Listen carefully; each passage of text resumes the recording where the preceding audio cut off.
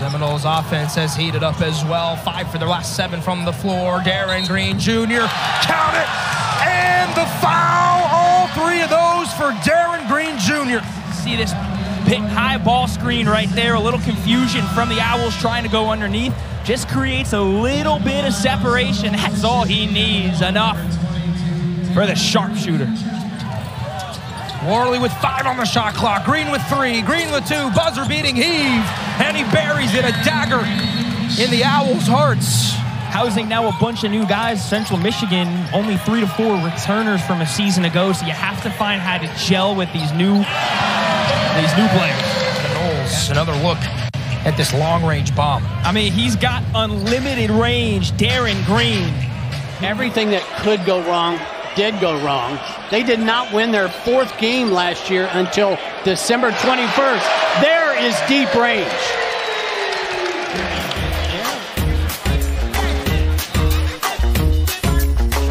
includes breakdowns and analysis of the ACC's bowl-bound teams and their matchups. Coverage starts at 6 Eastern right here on the ACC Network. And the ESPN app counted. Bring the ball up the floor, evaluating the defense. He found his 40 years ago. That was definitely a while ago, WD. Ball away three. Green on the board for Florida State. See, you talked him right into that shot. 100 seconds to go in the first half. By the way, coach, Green a three. He's, he's got it now. Being a part of your first television I broadcast. Know, I know. Hopefully, we'll get a chance to do this many more times. I yep. hope so. I hope so. Green a three out front. He, make, he makes some hard shots too. And we mentioned where they get Spears back. They still are without Cam Corhen and Cameron Fletcher due to injury, so they are not whole by any means.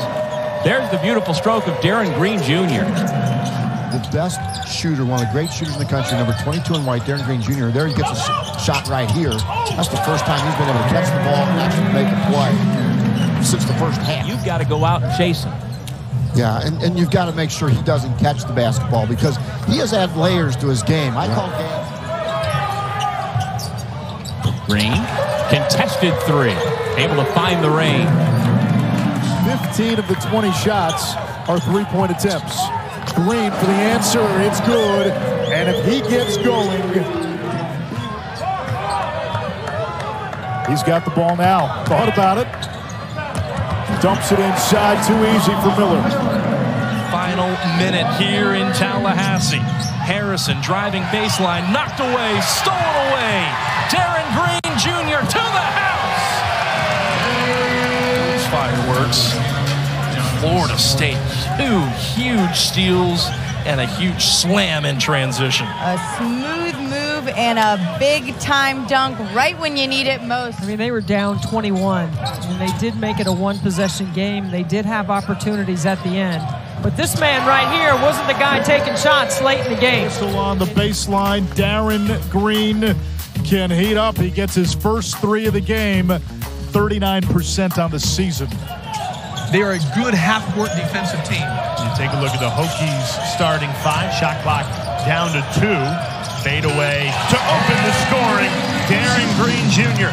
He had one more up in the slot if he found that. He had another pass right there. Look at that range by Green. Darin Green Jr. If, if he sees it, he'll take a few for Darin Green today. That was way beyond NBA range. He's a volume shooter, but if he's hot, dribble penetrate, get to the paint, and get a basket. Green, deep three. Money! Darin Green drills it. Five games with a broken toe that kept him out a month. Salas backs it out, and Keller turns it over. Green the pick. The stick! This is a team that forces turnovers. They forced four. And when you can get Darin Green down there for a transition three, he's already made two. Cam Hildreth has a ball screen from Efton Reid. Off the rejection. Hildreth underneath. Turns it over. Darin Green's off to the races. Exclamation! But Efton Reid does not step to the ball. Hildreth thinks he will. And as a result, Darin Green gets it. And how many times have we seen Green do this tonight? It's tipped around, and Green, Darin Green, corrals the board. Green with his second three. His threes come in bunches. He's had games with five, six, seven threes or more.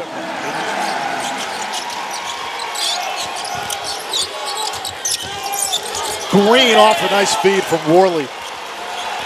When Baba Miller shoots, I don't even know why you go out there to challenge him. Numbers for Florida State. Green drops it off for Spears. One of the last unbeaten teams in the country. And Clemson here switched to the zone. You and I talked about this. Green hits a deep one. How your guys do. Tough shot for Starling on a step back in the mid-range. Darin Green pushing tempo to Cam Corhen underneath. What a catch. Running and catching out overhead like that. December 16th for the Seminoles. So that added an explosive score and another warm body for Leonard Hamilton. And starting it over. Darin Green's out to the races and finishes. Syracuse, and they have delivered. 22 for Watkins, 24 for Mintz. 80% on the year. Darin Green's got the rebound. Green with a hard drive off the long foot, scores it.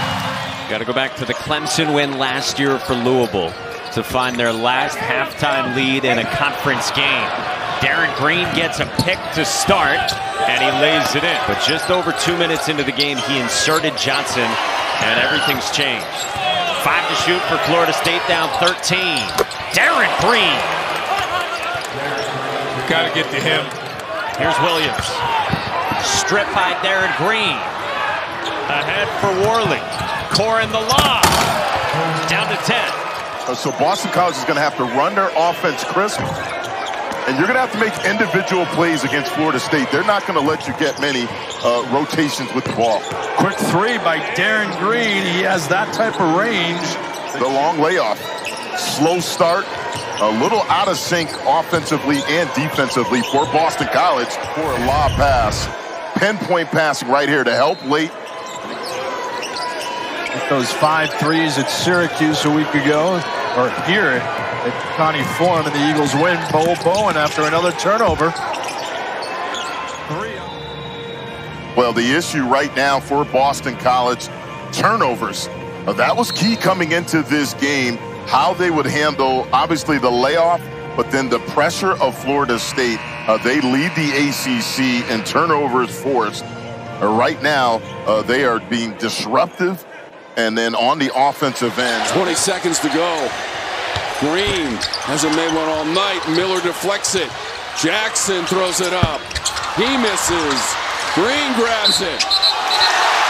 He scores, and he's going to the free throw line. Wow. what a time to make your first basket of the game. Just kind of tipped it to himself, kept it alive. And a little mock chant from the student section as they're doing the tomahawk chop as the clock winds down for Florida State. There's a three.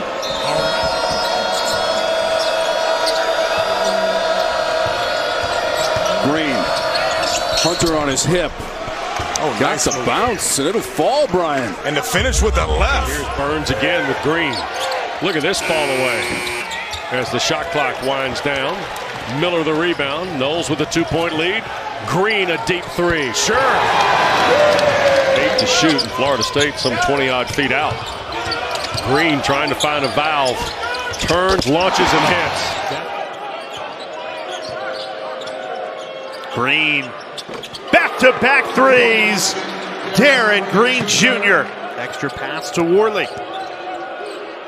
Good ball movement on this possession. Green drills it again. Darin Green Jr. From beyond the three-point arc and all the great shooting fresh first years in the ACC, he's at the tops as far as accuracy. We're not in Charlottesville. They're freshmen. And that is what each of these coaches value more so than any Final Fours or any records on the basketball court. Yeah, Coach Hamilton was talking about that again today as Corhen has his second slam of the day.